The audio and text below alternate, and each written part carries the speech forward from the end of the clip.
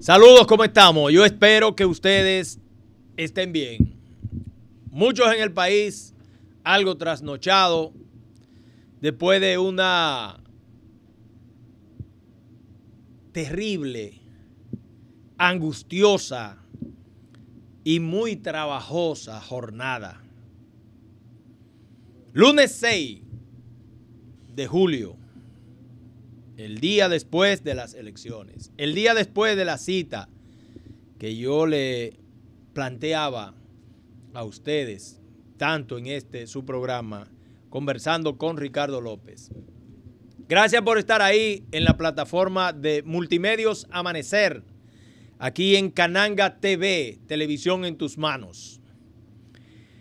No olvide suscribirse a este canal para que disfrute de todo el contenido que este espacio le brinda. Noticias nacionales e internacionales. Hoy muchos celebrando, celebrando este, esta victoria del pueblo dominicano. Otros analizando el porqué de la derrota. Y nosotros decimos aquí, en este su espacio, que el pueblo dominicano, tal como veníamos nosotros preconizando de hace un tiempo, va cambiando. Y qué bueno que así sucedió. Es una combinación ante el fracaso de situaciones políticas de un actor en principalía y un pueblo que no se dejó amilanar ante el miedo de la pandemia del COVID. Ustedes observaron cómo muchas gentes salió temprano a votar. Aquí se estaba apostando a una masiva abstención. Y para ello, el gobierno puso en ejecución el día anterior y el día de las elecciones la tarjeta de solidaridad. A muchas personas le extendieron hasta con la cédula ir a los centros comerciales, a los supermercados, a hacer fila. Parece ser que la gente adivinó cuál era la intención que tenía el gobierno. Y se repitió aquello que nosotros analizamos en un programa aquí en el que nosotros habíamos dicho un 78 no, otro 78 no, refiriéndonos al 1978 en que la gente, en que el, que el pueblo quería el cambio. Bueno, el cambio ya se dio y se va a iniciar la ejecución de este a partir del 16 de agosto. Un cambio que promete ser un verdadero y real cambio, no de caras, sino de ejecutorias. ¿Qué es lo que el pueblo dominicano quiere y necesita? Nosotros necesitamos recuperar la confianza en las autoridades nosotros queremos recuperar la confianza en las instituciones, que haya institucionalidad en el país, que funcionen las instituciones, porque el pueblo dominicano se merece eso. El pueblo dominicano es un pueblo batallador, es un pueblo fajador, con todos sus defectos y sus virtudes, como en todas las actitudes del mundo. Ustedes observaban que el presidente Danilo Medina siempre decía que aquí se había reducido la pobreza, que aquí había, que ya este era un país de clase media. Dentro de todo lo que se analizaba decía que era la clase media la que iba a sacar del poder al PLD, que durante 16 años continuos y cuatro años anteriores, 96-2000, suman un total de 20 años 20 años en el que se cambia toda una forma de hacer política, toda una forma de gobernar, una forma de alienar al pueblo llano. Una forma de estrujarle en el rostro al ciudadano de a pie las cosas indecentes que muchos de los dirigentes del PLD, de un comité político, de una dirección alta y media, le venía enrostrando al dominicano común. Ustedes veían cómo estos individuos se paseaban por donde quiera, estrujándole en la cara su indecencia de sus logros económicos mal habido. Y eso llegó a tal punto de creerse que este país le pertenecía. Qué lejos estaban. Este país le pertenece al pueblo dominicano. Un pueblo que su heroicismo lo ha puesto de manifiesto en las, en las situaciones que más lo necesita República Dominicana. Y ayer, ayer lo hizo. No importaron los conatos de violencia. Ayer se cobró la vida de un ciudadano hasta donde se tiene conocimiento ejemplar por la situación del clientelismo y de la compra de conciencia. Ustedes vieron en fílmicas cuando el presidente Danilo Medina iba a ejercer su derecho al voto, cómo llevaron personas allí para que le hiciera el coro al presidente. Pero luego esas mismas fílmicas recogieron cómo se estaba repartiendo el dinero ante unas personas con carencias creadas por el propio gobierno. Pero parece ser que se dio lo que acontecía y lo que aconteció en el 1978.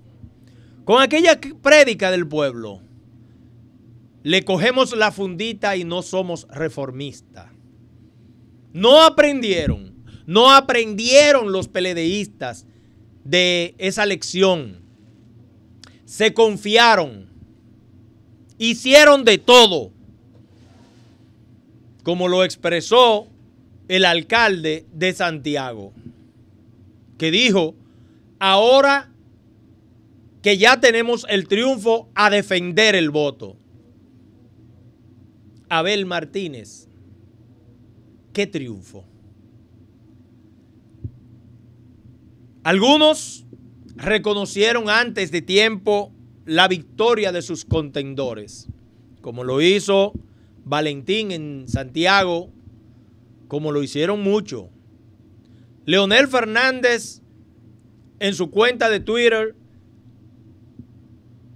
publicó felicitando al pueblo por su comportamiento y publicó las felicitaciones a Luis Abinader Corona.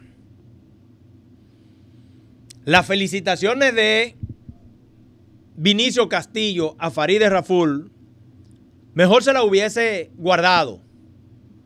Porque, caramba,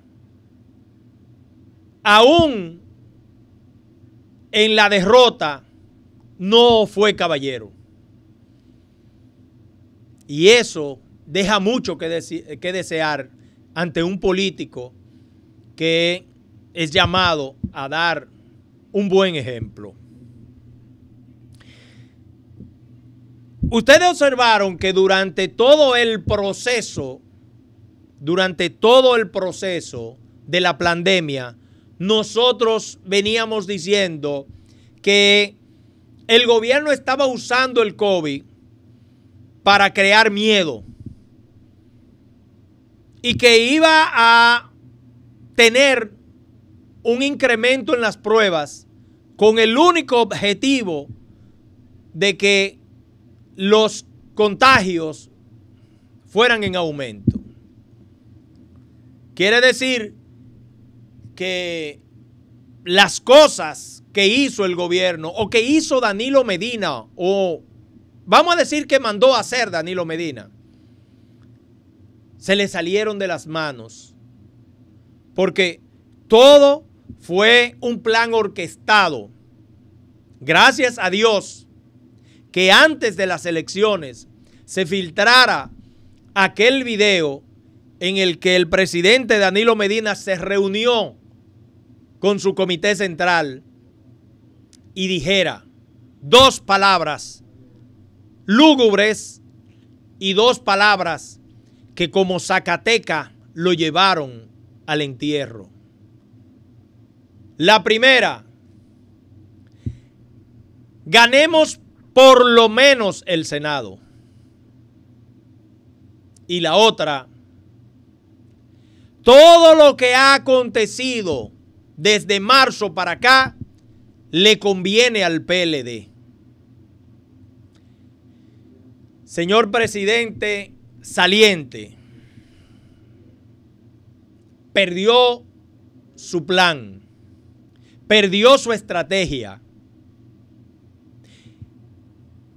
Y al sacar del, del, lado suyo a Leonel Fernández,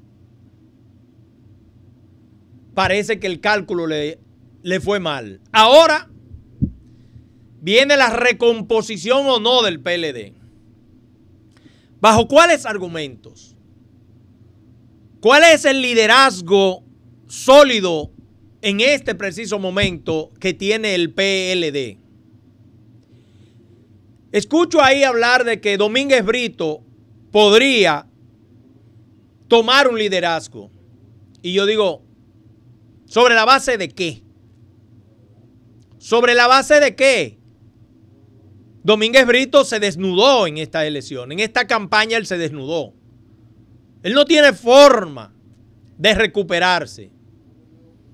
A menos que, como quemó la gorra, haga un mea culpa. Puede ser. Reinaldo Párez Pérez, secretario general del PLD, desgraciadamente padeciendo de un cáncer que la noticia buena es que fue operado y según el parte médico tuvo muy buena recuperación y que fue un éxito la cirugía. Fue sometido a radiación para disminuir la tumoración. Parece que sí, que fue a nivel estomacal, no del esófago y fue operado. Si la providencia del Señor le permite una pronta y rápida recuperación, entonces Él podría asumir un liderazgo. Porque el liderazgo del, del presidente Danilo Medina está en cuestionamiento ahora.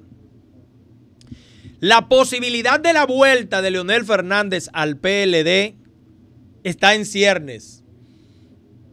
Y escuchen, yo me he caracterizado por ser coherente.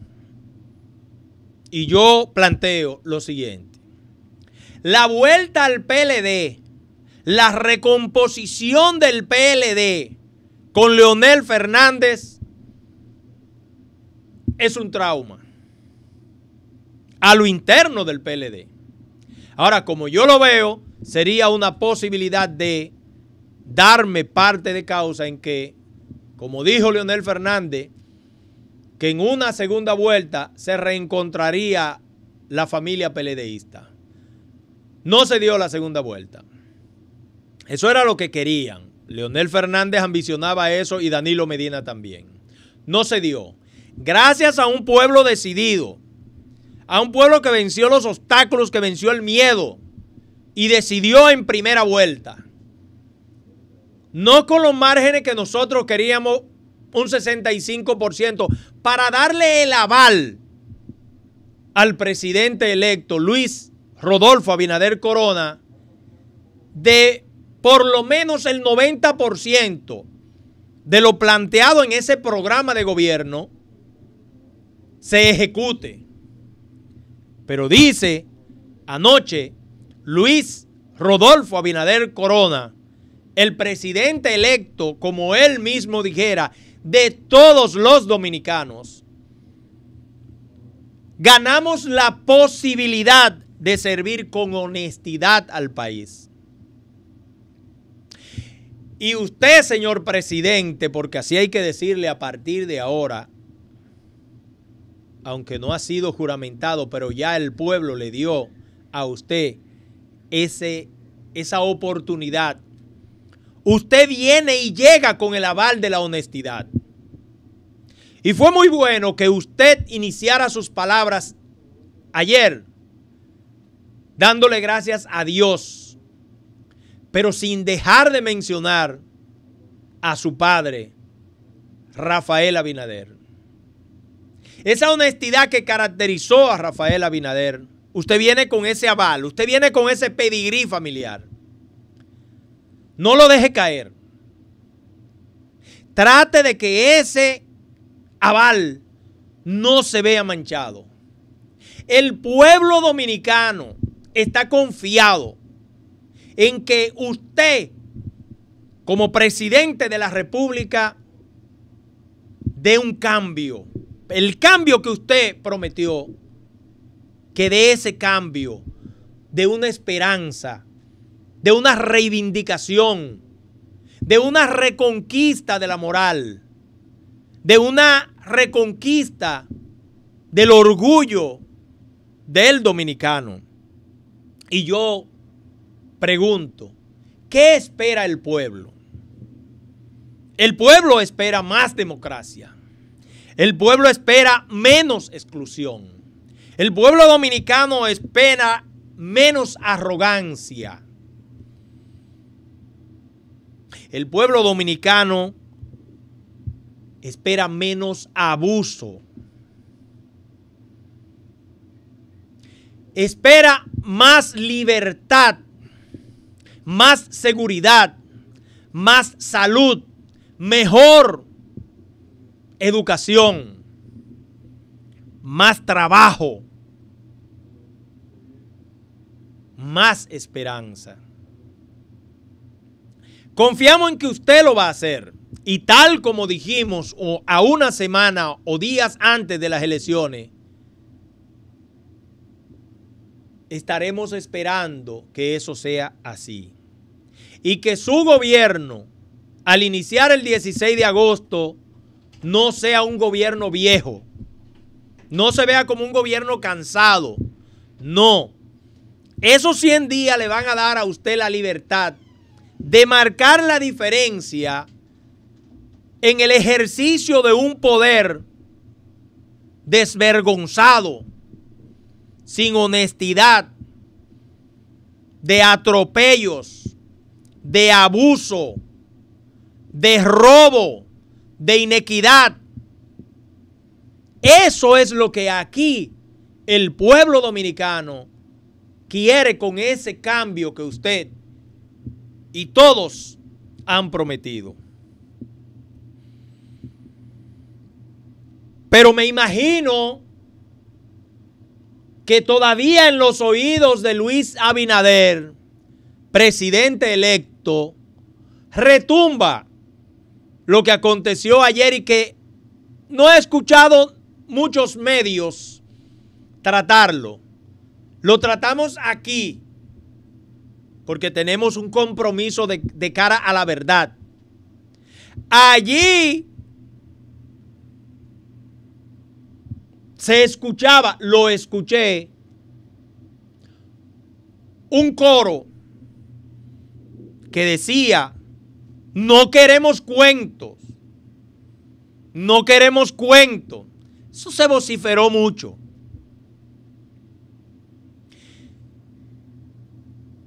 Usted va a dirigir el poder ejecutivo. La constitución nombra tres poderes del Estado. El poder ejecutivo, el poder legislativo como primer poder del Estado y el poder judicial. Los otros poderes lo menciona poder municipal, poder electoral, Pero el poder legislativo, que hasta los conteos preliminares, parece ser que el PRM, como partido, tendrá alrededor de 18, 20 senadores. Con los aliados, los demás. Los faltantes, unos 12. Nosotros queríamos y queremos, es lo que más va a tardar para dar los cómputos, una Cámara de Diputados mucho más colorida, que haya muchos representantes de diferentes organizaciones políticas, para que no haya mayoría allí de un solo partido. Pero que haya la condición de que muchos diputados que estén comprometidos con su comunidad y con el país hagan lo que deben hacer. Legislar en beneficio del pueblo dominicano.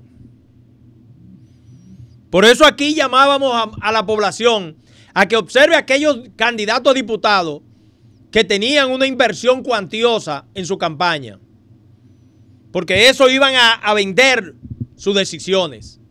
Claro, hay que recuperar lo invertido. Nosotros estamos con la democracia. Nosotros queremos más democracia. Nosotros queremos más libertad. Ahora, parte de este gobierno que surgirá a partir del 16 de agosto recuperar una economía que tal como dijo el presidente Danilo Medina, dejará un país desbaratado económicamente hablando, desinstitucionalizado.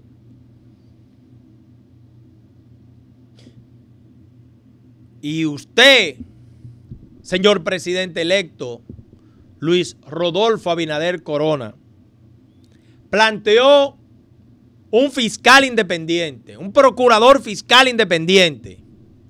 Ya me imagino que debe tener la terna para someterla. Decía el buen amigo doctor Guido Gómez Mazara que esos expedientes que él ha llevado al PETCA lo manejen a partir del 16 de agosto un procurador fiscal que no tenga relación con él y que él no lo conozca. Para que se le den curso a esos expedientes. Pero no solo a eso, a muchos casos de corrupción que el pueblo, el pueblo lo tiene pendiente y el pueblo sabe eh, quiénes son. Ya el pueblo tiene sus expedientes.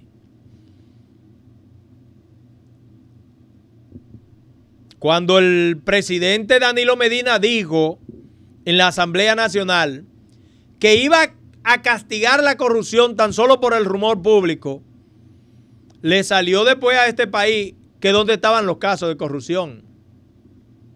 A eso fue que el pueblo le salió a enfrentar a esa burla del presidente Danilo Medina. Y sabemos, sabemos que ahora, ahora le toca a Luis Rodolfo Abinader Corona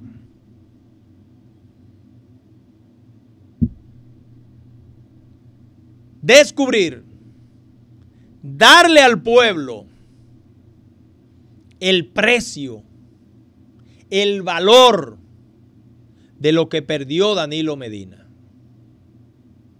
Él que dijo en medio de esa reunión con su comité central del Partido de la Liberación Dominicana, lo que está en juego no tiene precio. Y nosotros decimos, sí, no tiene precio. Pero ese precio tiene palabra y tiene expresión. Y es Luis Rodolfo Abinader Corona, que debe en esos 100 días comenzar a darle a ese pueblo el valor de esperanza, de fe, de alivio, de sentirse cómodo, tranquilo, esperanzado. Es lo que nosotros queremos que sea. Y hay uno solo que es el que tiene el poder. Uno solo es el que tiene el poder. Y aquí, ese poder se desafió, pero no el que dice en ese video el expresidente Leonel Fernández. Miren lo que dice Leonel Fernández en ese video. La primera ley, siempre es bueno recordarla, que establece Robert Greene es nunca opacar al jefe, trae malas consecuencias. El jefe, presidente Fernández, es el pueblo. Es el pueblo que por una decisión quita y pone de la bendición de Dios, del Todopoderoso. Porque como dice en la Biblia dice que Dios quita y pone reyes. El pueblo decidió. Y ahora le toca al PRM reivindicar. Y creo y quiero que esto lo tomen muy en cuenta. Reivindicar aquella expresión que dijera el expresidente Luis Felipe González cuando vino a la toma de posesión de Antonio Guzmán Fernández, que dijo, ustedes el PRD están llamados a gobernar República Dominicana como el PRI de México, que en ese entonces llevaba 70 años en el poder. El PRD de ese momento, por las rebatiñas internas, no gobernó más de dos periodos. Y no fue hasta el 2000 que retoma el poder y vuelve a perderlo en el 2004. ¿Por qué? Por las mismas rebatiñas y las mismas divisiones. Ahora a ponerse de acuerdo en el bienestar colectivo, no en el bienestar individual, que fue lo que le pasó al PLD, que parece ser que no tomó el ejemplo de los errores cometidos por el PRD. A Luis Abinader, si lo hace bien, si lo hace bien, le corresponde, según la constitución de la República, la posibilidad de seguir gobernando por cuatro años más con la honestidad que él dice ahora que le dieron una oportunidad de servir con honestidad.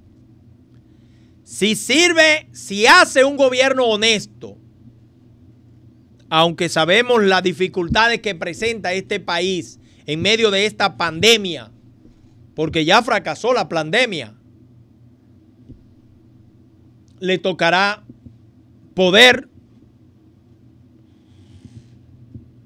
reelegirse, si el pueblo quiere reelegirlo. Pero mucho cuidado, porque se sabe y tome en cuenta que en el 2000 le dejaron un gobierno y un país amarrado a Hipólito Mejía. Y quizás por sus allegados, por sus asesores, no hizo lo correcto, lo que debía hacer. Nosotros tuvimos 16 años de este desgobierno del PLD, de este desgobierno de Leonel y de Danilo Medina. Ahora le toca a Luis Abinader, con su conocimiento en cuanto a economía y el manejo de empresas, enrumbar este país por el camino de la recuperación de la economía. Y es fácil, es simple. Tal como lo dijo o lo dijeron en ese discurso de anoche, no queremos cuento. Aquí hay que castigar a los corruptos y la devolución de los robados. Ayer me enteraba de que el presidente de la Cámara de Diputados, Radamés Camacho, optó por una diputación nacional. No tengo el dato exacto. Pero si así fue, miren la intención. Si él sale electo diputado nacional, miren cómo es que se quieren proteger. Esperemos que si sale candidato electo, candidato nacional, tenga la gallardía, tenga el valor de renunciar a su inmunidad parlamentaria para que sea investigado.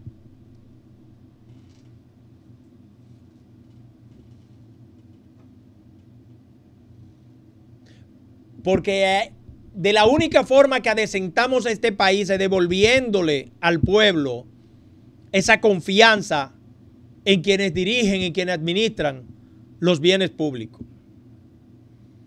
Es de la única forma que nosotros vamos a tener un país que se encamine por el sendero del progreso, en el que todos podamos vivir bien. Hay un viejo refrán que dice, o una máxima que dice, que los muertos de campaña muertos se quedan. Nosotros esperamos, esperamos que no. Esperamos que los culpables de la muerte de ese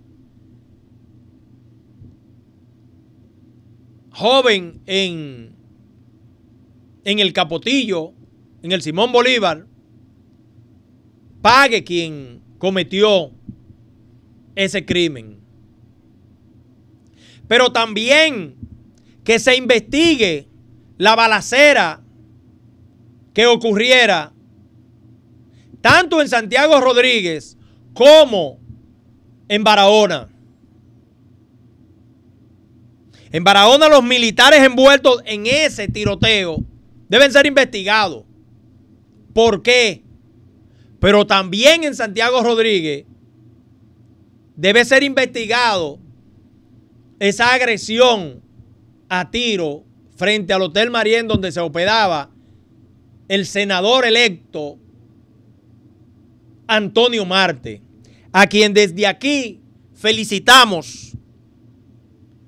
Y lo felicitamos de una manera vehemente, responsable, porque él, como candidato a senador, prometió el reverdecer de los campos de Santiago Rodríguez. Porque a mí, como campesino, como doliente, quiero y necesito, al igual que todos los de San Ignacio de Sabaneta, Santiago Rodríguez, La Leonor, Clavijo, Palmarejo, La Sidra, Aguacate, La Cabinma. Necesitamos que la depredación de los bosques se le ponga un freno. No podemos seguir depredando la montaña porque nos vamos a quedar sin agua. Y se lo dice uno que le duele esa comunidad. Porque ahí están las raíces de mi familia, de ahí vengo yo. Entonces necesitamos, queremos que Antonio Marte, tal como lo prometió, comience a hacer ese trabajo. Porque ese es un trabajo digno de alguien que le duele su comunidad. Es probable que se acabe el abuso, pero tenemos entendido que muchas personas que luego se pone el traje de funcionario, muchas veces no acepta eso, eso, porque es un cambio drástico de forma de vivir. Queremos honestidad. Y le hacemos un llamado a todos los candidatos electos a que se vean en el espejo de los que hoy perdieron. A que se vean en el espejo de los que hoy perdieron. Mañana le puede tocar a ustedes. Mañana le puede tocar a ustedes. Entonces, a trabajar por su comunidad, a darle el frente a lo que ustedes prometieron, a no encerrarse en una oficina, sino a darle el frente a las necesidades y a la carencia de las comunidades que ustedes van a representar. Si ustedes se cierran en una oficina, sepan que con canonjías, que con clientelismo, que con dar una canastilla, con dar una caja de muerto, con pagar una receta, eso no va a resolverle el problema a un pueblo que necesita, que quiere que se recupere esta economía.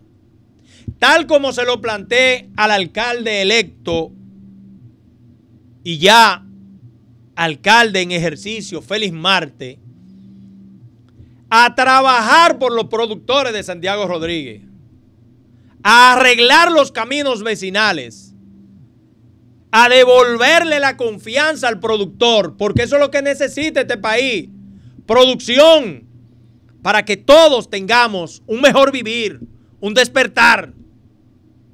Eso es lo que se necesita en este país. No cambio de, de, de jipeta, no lujos eso no va. Hacer como hizo el alcalde de Santo Domingo Este, Manuel Jiménez, que el vehículo lo, lo puso en pública subasta para arreglar los camiones de, la, compactadores de basura, las volquetas, para darle el servicio a la comunidad. Ustedes senadores, diputados, alcaldes electos no necesitan un vehículo de lujo. Porque ya este pueblo ha creado conciencia. Y este pueblo ve cómo los funcionarios van a enrostrarle su riqueza, sus jipetas de lujo, sus tenencias y le dan migajas. Ya eso aquí, a partir de estas elecciones, está claro y demostrado que no vende. Porque si hubiese sido así, Gonzalo Castillo se va en primera vuelta. Gana de forma arrolladora. Y no fue así. La gente se cansó de que le saquen la lengua, de que lo humillen, de que lo maltraten. Y no es verdad que como el ministro Gustavo Montalvo, que ahora estrena una mansión de más de 60 millones de pesos en los pinos de Arroyo Hondo, eso da voto. No, eso lo que da es coraje. Porque se sabe que no es de los recursos, que usted ha trabajado con su sudor. El incremento de la fortuna de los Medinas, de los Montillas,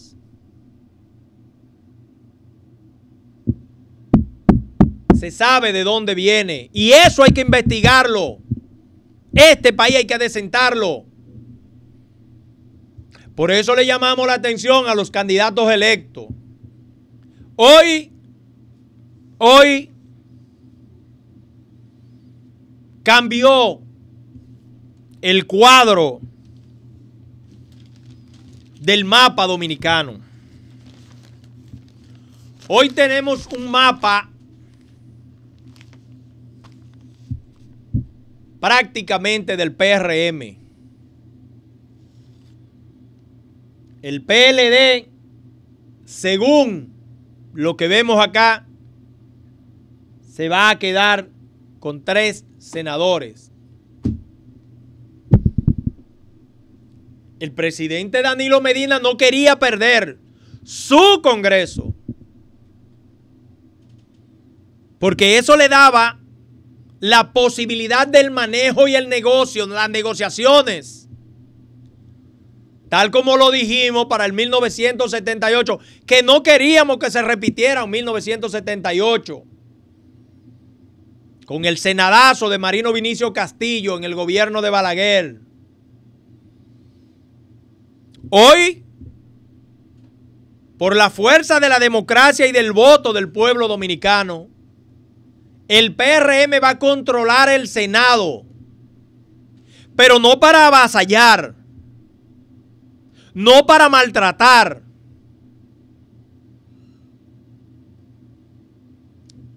sino para que se haga justicia y para que este pueblo recupere lo que le han robado. A este pueblo se le ha robado, además de los recursos, la tranquilidad. Y aquí, en este país, aquellos que se creen pro hombre, porque única y exclusivamente manejan presupuesto y manejan militares y manejan policías. Que sepan que este pueblo cambió. Y cambió la mentalidad. Ayer yo veía las filas. Yo iba a los supermercados y veía cómo la gente estaba haciendo fila. Porque le duplicaron la tarjeta. Para que la gente tuviera una nevera llena.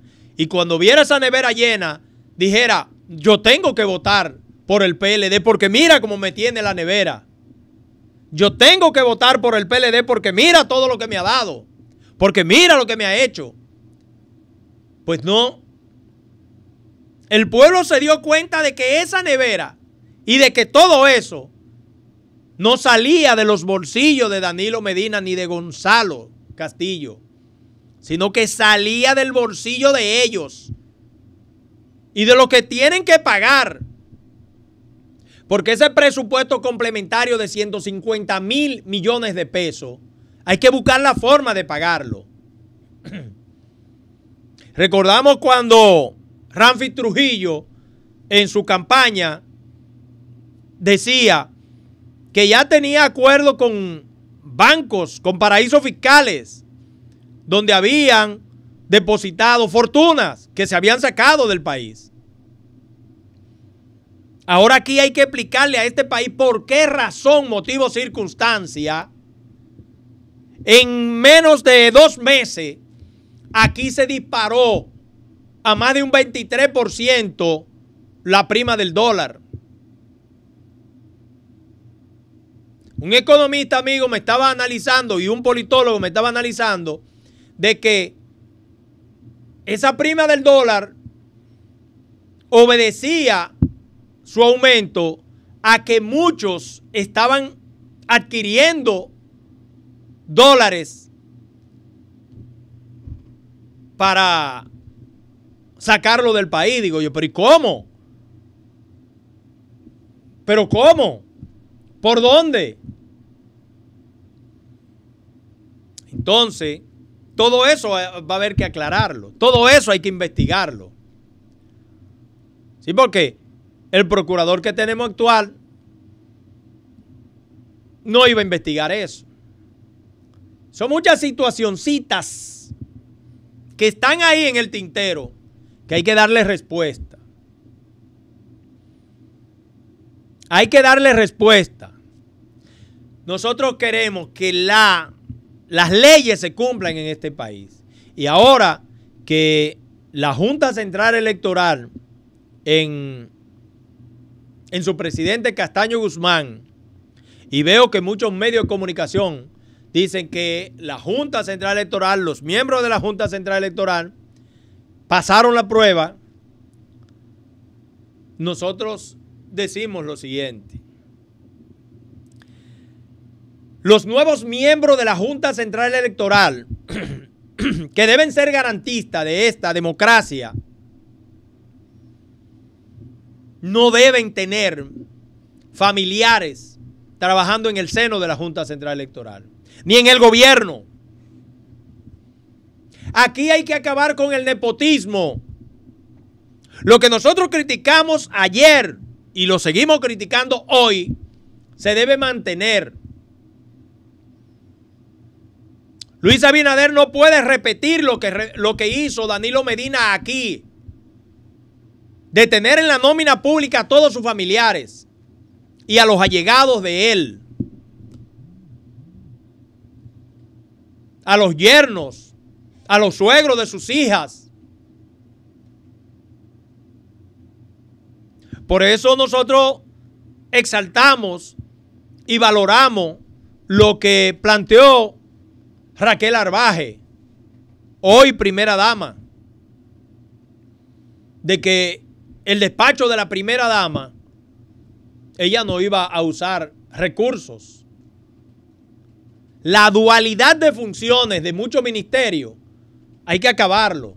Aquí, aquí, se debe recuperar todo lo que es del pueblo, que se enajenó, que se vendió, que se regaló en el gobierno de Leonel Fernández y continuó en el gobierno de Danilo Medina. Por eso nosotros decimos que los dominicanos en el exterior, que dieron un ejemplo votando de forma masiva por Luis Abinader, se ganaron el derecho de que ese gobierno, este gobierno que surge a partir del 16 de agosto, le garantice una línea aérea nacional. Que se la garantice. Porque los recursos que se dejan en esos vuelos de los dominicanos ausentes queden en manos de empresas que no son nuestras. Las garantías de tener una línea aérea le crea un orgullo al dominicano, le crea un valor agregado. Nosotros queremos ver surcar los cielos de República Dominicana por aeronaves, por aviones, con esa bandera nacional. Y el Banco de Reserva, que los que son las remesas que se han perdido. Señores, aquí la economía ha perdido de forma tal dos pilares. ¿Cómo vamos a recuperar esos dos pilares? Número uno, las remesas. Y número dos, el turismo. Fíjense cómo se, se le da apertura al turismo. Pero el ministro contable dice que estamos en una pandemia, en una situación de emergencia de salud nacional.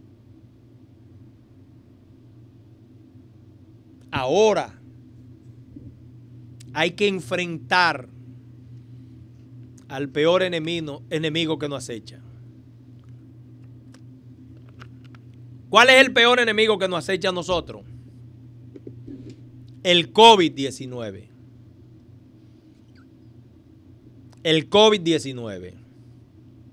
Sabemos que el equipo de salud que acompañó a Luis Abinader en la campaña es un equipo élite. Es un equipo bueno. El doctor Plutarco Arias, el doctor Mario Lama, el doctor Mario Burnigal. Todos ellos,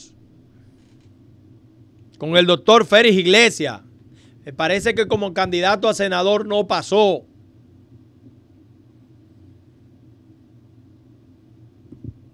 Pero está ahí. Ese equipo de salud, todos de élite, le van a dar a Luis Abinader la confianza de recuperar la salud. Y que todas las instituciones y todos los hospitales se comiencen a equipar, a llevar los insumos para hacerle frente a este enemigo que es el COVID-19. Se derrotó el miedo.